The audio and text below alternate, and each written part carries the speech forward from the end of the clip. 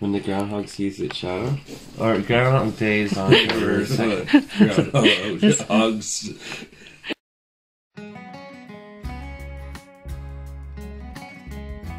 Two. I thought you got rid of them all. We all. brought the rooster. I It's- thought I got rid of them all too, but I said I. uh Matahishi?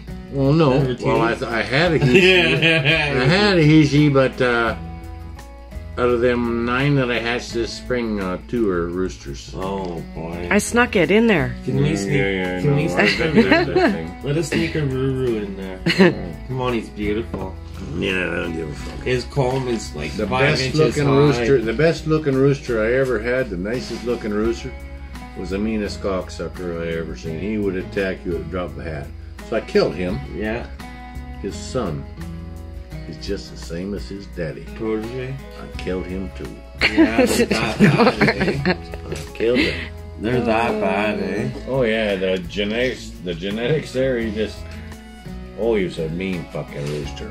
You couldn't walk in there, and if you turn your back, he would- he would back away from you. Yeah.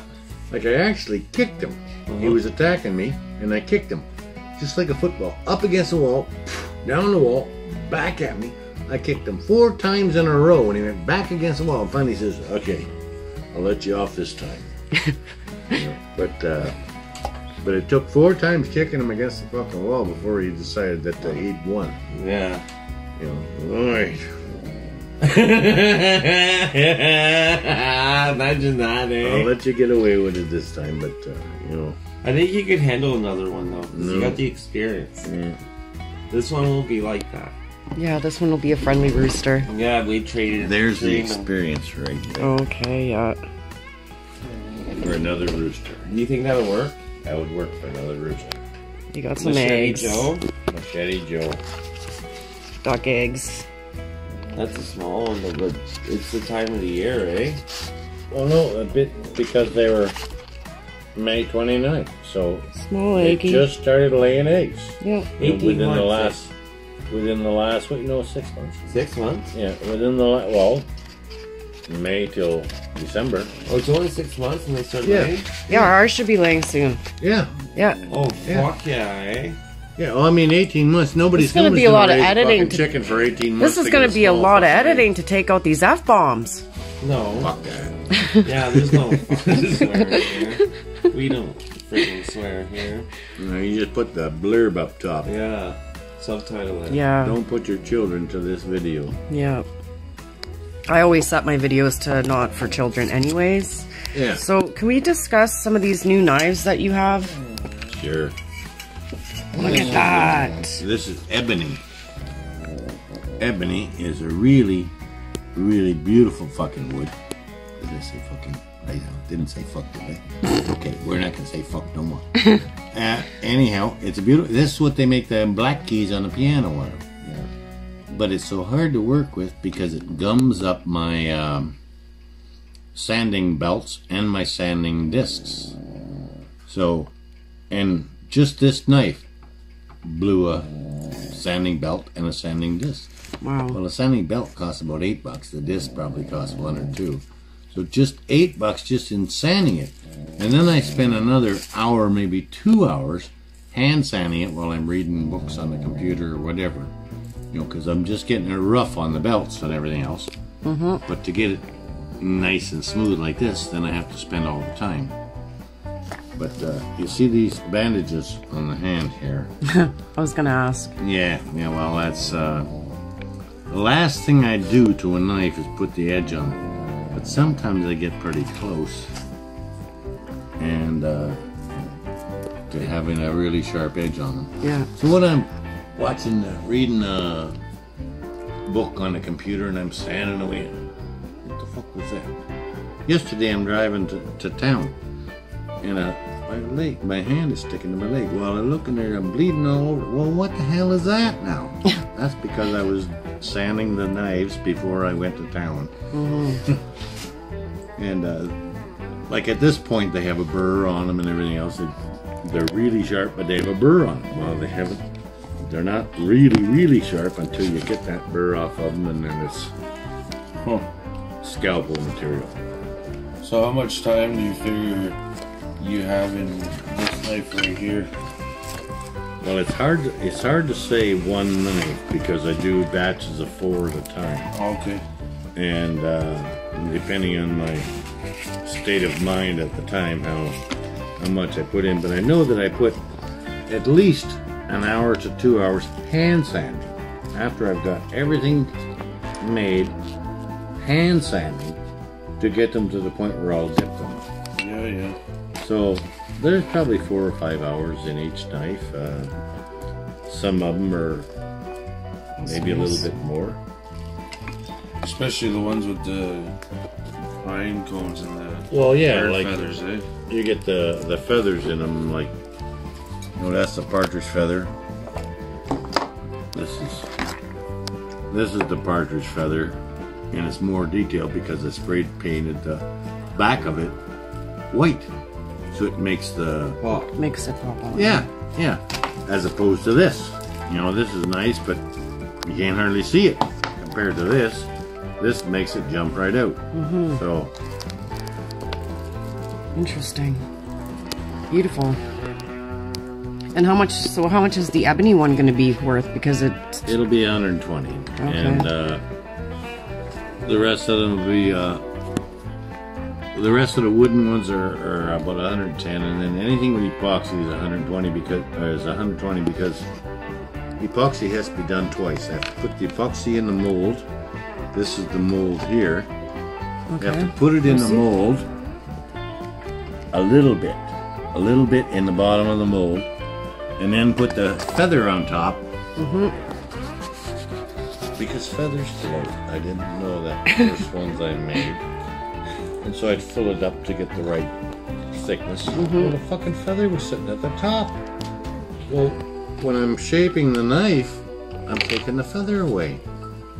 So I want the feather in the middle or on the bottom so I can shape all around and I'm not Yeah. interfering with the feather. Yeah. Well, I learned that the hard way, but you know, we learn from experience. live Yeah. learn, right? Yeah, well, Yeah. Let's see this. it's all learning curve. That's cool. So then I, like, I put the epoxy in that a little bit in the bottom, but put the feather on top, leave it for three or four hours, and then I can put the rest of the epoxy on it because it's already started to set. It's not fully set, but it's already started to set, and I make sure there's no air bubbles and shit. Right. But that's the original. That gray partridge feather is the original. Like I said, I never saw any of this brown Yeah. until two years ago. My buddy phoned me today and he says, "Hey, come on over. I got uh, I got five partridges last night. I got more feathers for you." Brown and bet gray. God damn it, they're going to be um, brown. I don't know what's happened in the last two years. The genetics of the partridge. Yeah. Not only are they brown feathers, but they are much longer and wider than Average. I've ever seen. Mm-hmm. So it's So- a hybrid, maybe. Well, if it is, it's taken over. Mm-hmm. Could it be their seven year cycle? Well, it wouldn't change the color. No. And I don't think it would change the length of the feathers. Like I saw, I sit at my computer most of the day and then I get up and uh, before I get up to do whatever I'm going to do, whether I get a drink or coffee or whatever, uh, I'll look out the window. Well, the other day I seen a, a partridge out there and he's crossing my little thing there. And uh, what the fuck is that? It was the shape of a partridge, but it was big, big, big and he just went across, so I only got him like two or three seconds of it. But it was two or three seconds that I realized, is that a pheasant? Know, because the size of him, Yeah. but the pheasant has a longer feathers on the tail, you know. No, no it's a partridge, and uh, so I don't know. Well, it was a partridge. That's all there is to it. But geez, he's bigger. He's a big butter, Huh. And I think I sent you. Pictures. You sent me the picture. Yeah. yeah. Well, they're right out there by my truck. Well, I got a feeder there and a feeder there, so. Uh, but at one time, I've had as many as 12 partridge here at this feeder, 12 at a time. Mm-hmm. And lots of snow that year, and you can see the trails. They're all out in the bush out here, but you can see the trails. Everybody's heading right to that feeder, so it was uh, the coolest thing. And then uh, two years after that, I had zero partridges. Hmm. And last year, I think I had one or two. Well, already I've got two this year, and so hopefully they'll spread the word that hey, the grub truck is here. You know, so But I'm not allowed to shoot them! don't shoot them. Don't shoot them. This is a sanctuary, a bird sanctuary. How's uh any spikies lately running through here? No. Oh darn. Did you did you send me that one about that? uh No, somebody sent me a, a, a video today of a guy who shot a deer, and the deer had a horn coming out of here. Wow. So, and it had a rack, but it had a horn coming out of here. And so he's one of these people who wants a skull. So he boiled the skull, because that's how you do it to get all the meat out and everything else. And there was an arrow through here with a big broadhead, a three three bladed broadhead sticking out here. And that how many years did that deer had that? in his head, eh? Wow.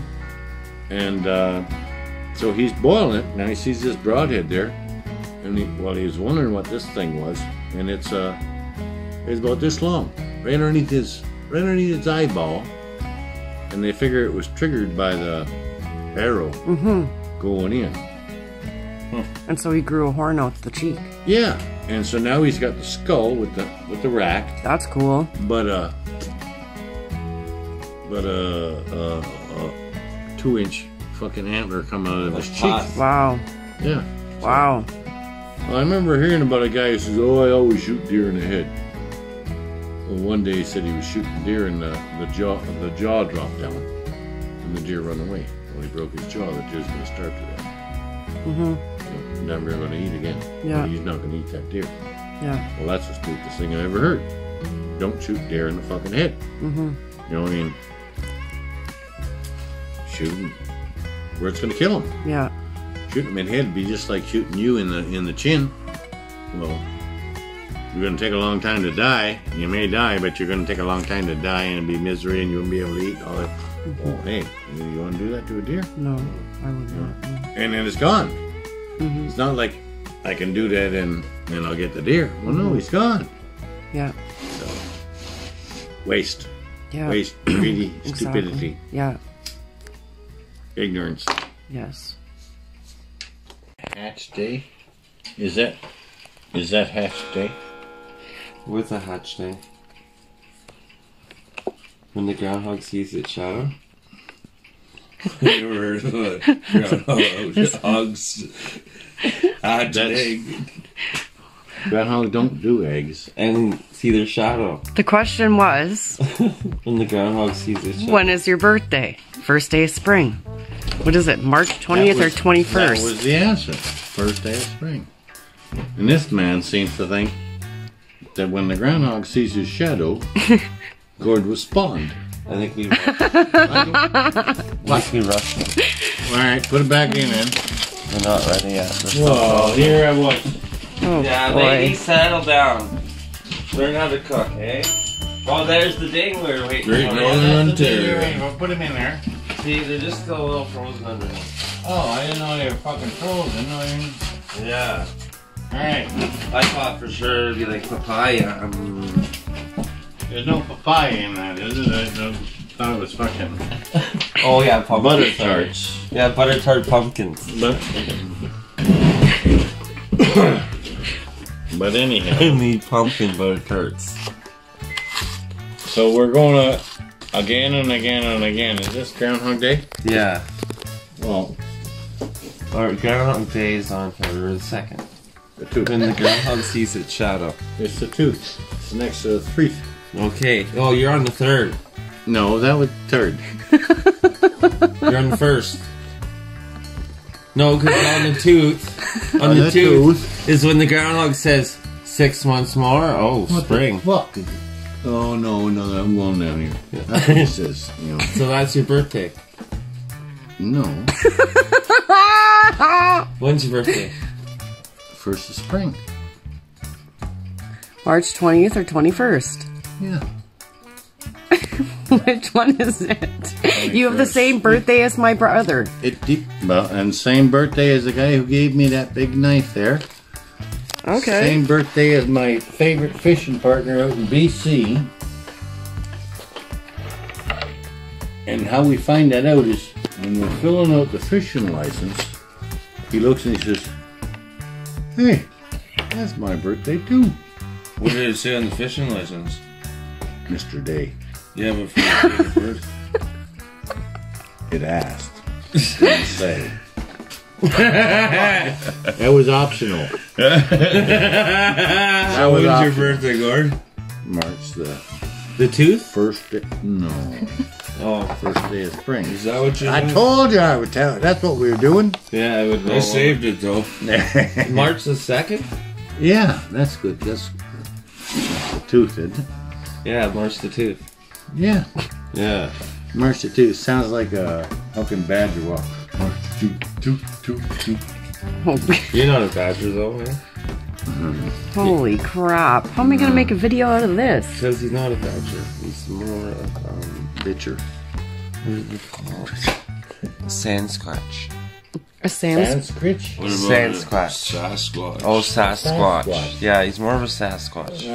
No. Migratory from where? BC. I tell you, after the accident with my sass was squashed. there were no children after that. Oh, yeah, an accident down there. No. Sock squatched. squashed. Yeah, there were no children. Is that where you come out, Harry? Ah. No, that that's why the scream came along. You know, when it's when you see all these Sasquatch movies and say, "Well, you know it's a Sasquatch," when you hear the scream, no, you just had an accident. No, they call it the Big Eddie, eh? That's what they called me before the accident. Oh, now it's Tiny Tim. now it's Tiny Tim. Yeah. Oh, that's not bad. Hey, good, Tiny Tim. That's not bad. That's horrible. That's horrible. Holy crap. Tiny Tim, it He go in there. He just can't go in and out of the bedroom. Get out of there, Stitch Stitchberry. Yeah, he's eating the glossettes out of the litter box. He better Oh not. no, he's got snacks here. He does sometimes think go wondering. We got snacks for Stitch. Free snacks. I wonder They don't have goes, that special sauce on them. I wonder what goes on No. in his brain. He's saying, "What the fuck is these adults doing? You know, these people. You know." Yeah. We're gonna go take a walk later. But he's like, some- like Okay, smelling thanks for the laughs. That was funny. Always a good time with Gordo. What about Big Kev? Yeah, Big Kev too. there. Alexander Berry. Yeah. Yeah. And I thought that was the fashion Yeah. statement. And Sugar Yeah. Bear. Yeah. Thanks for watching. Oh, laughs are always good. Laughter is the best medicine, folks. And we're trying as much medicine as we can tonight. Yeah.